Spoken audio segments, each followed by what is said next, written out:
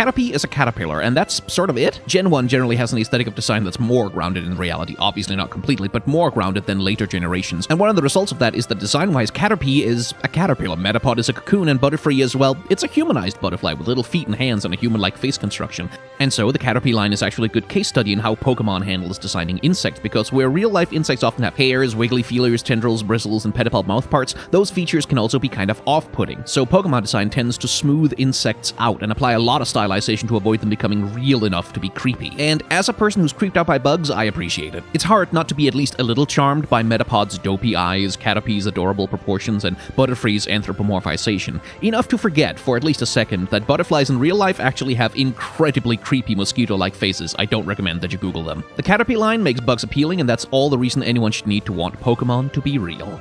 Subscribe to this channel for more reactions and hot takes, or head on over to my main channel for longer in-depth videos.